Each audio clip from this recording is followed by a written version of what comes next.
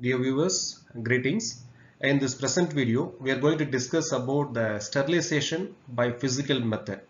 Uh, totally, there are uh, five methods of uh, physical sterilization methods.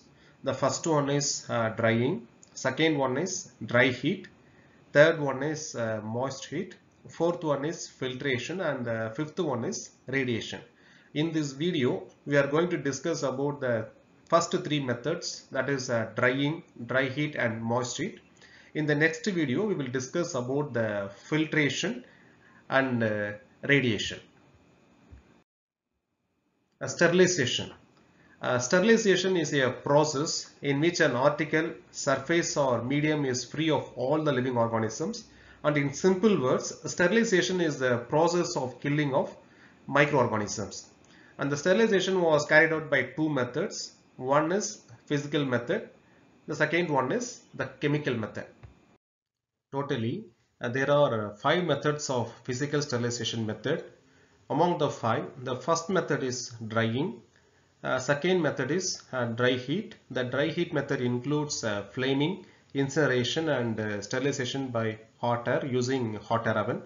The third method is moist heat. It includes uh, pasteurization, temperature below 100 degrees Celsius, boiling, temperature at 100 degrees Celsius, tyndallization and autoclaving, that is a temperature above 100 degree Celsius. The fourth method is filtration. Uh, four types of filters were mainly used. That includes uh, candle filter, asbestos filter, sintered glass filter and membrane filter. And finally, the fifth met uh, method is uh, sterilization by using radiation. Uh, two types of radiations were used for the sterilization. It includes uh, non-ionizing radiations and ionizing radiations. Example for non-ionizing non radiations includes infrared radiation and ultraviolet radiation. And, uh, and an example for ionizing radiation includes X-rays, gamma rays and cosmic rays.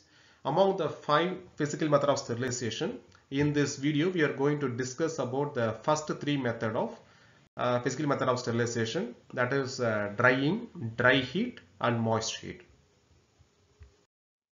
The first method of sterilization is uh, drying and basically the moisture is an essential uh, source for the growth of many bacteria. Uh, Four-fifths of the weight of the bacterial cell is mainly due to the moisture and the drying means the removal of moisture and drying in has a deleterious effect on many bacteria but unfortunately the spores are unaffected by drying. Uh, because of this nature uh, uh, this drying process is not widely considered as, uh, as an effective uh, sterilization process. The second method of physical sterilization is dry heat and the flaming is the first method of dry heat sterilization. In flaming, inoculation loops, uh, tips of forceps and spatulas are held in the Bunsen burner flame uh, till they become red hot. The second method of dry heat sterilization is incineration. Uh, incineration is an excellent method for safety destroying materials such as contaminated cloth, animal carcasses and pathological materials. And an equipment used for the incineration process is called an incinerator uh, incineration plant must be designed to ensure that the flue gases uh, reach a temperature of at least 850 degrees Celsius that is 1560 Fahrenheit degree uh, for 2 seconds in order to ensure proper breakdown of toxic organic substances. And this is the image of incinerator which is used for the incineration process of sterilization. The third method of uh, dry heat sterilization is uh, hot air oven sterilization. The hot air oven is a widely used method uh, for sterilization by dry heat and it is used to sterilize uh, glass vase, uh, forceps, uh, scissors, scalpels, glass syringes and swabs.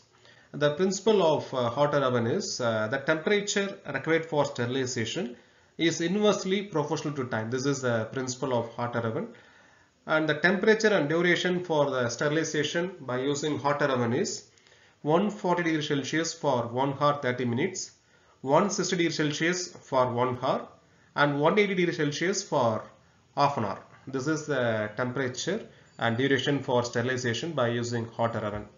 Uh, this is the image of uh, hot air oven uh, which is widely used for the uh, sterilization by dry heat method. Uh, next uh, mode of action of hot air oven. the fan present in the hot air oven and circulates the hot air within the hot air oven. The circulating hot air sterilizes the material which were kept for sterilization and the hot air oven kills the microorganisms by denaturation of proteins. Uh, safety precautions to be followed while sterilizing in, uh, in hot air oven. Uh, first, uh, overloading of uh, material should be avoided during the sterilization.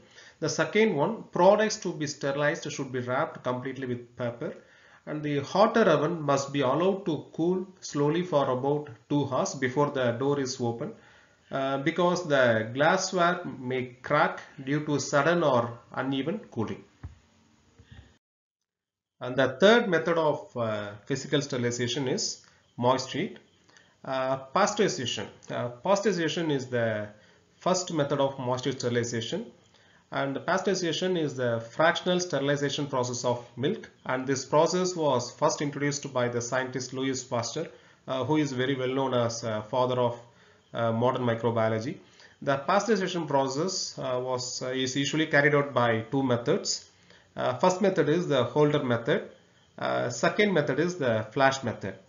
Uh, in Holder's method, the temperature is less and the duration is long. That is 63 degrees Celsius for 30 minutes.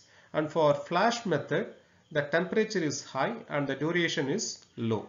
That is uh, 72 degrees Celsius for 15 to 20 seconds. Uh, during the pasteurization process, all the spore forming bacteria and heat resistant bacteria were killed. Uh, this image shows the pasteurization unit in dairy industries. Uh, the second method of uh, moist heat sterilization is uh, boiling. Uh, while boiling, uh, vegetative bacteria are killed almost immediately at 90 to 100 degrees Celsius, but endospore forming bacterial isolates requires prolonged period of boiling and boiling is uh, not recommended for the sterilization of uh, laboratory instruments and boiling uh, is usually preferred for cooking the food materials. And the third method of uh, moisture sterilization is uh, tyndallization process.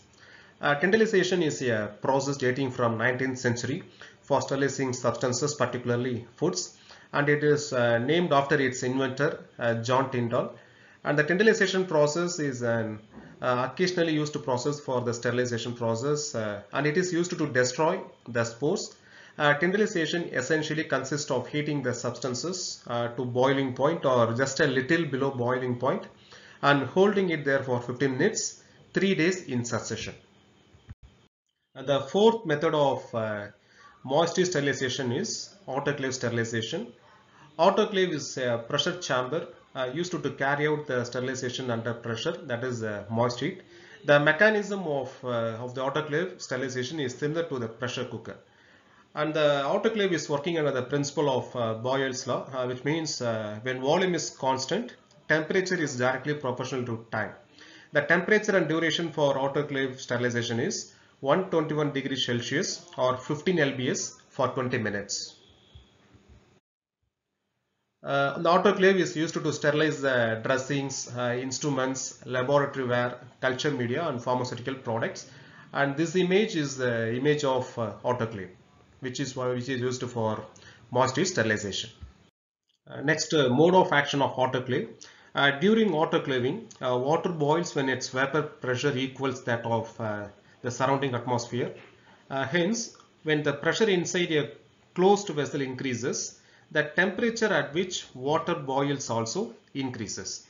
At the time of autoclaving, steam was produced and sterilizes the materials which were kept for sterilization. Autoclaving kills the microorganisms by the process of uh, coagulation and denaturation of enzymes and structural proteins and make the microorganisms non-functional. And next, uh, safety precautions during autoclave sterilization. The first one, overloading of material should be avoided.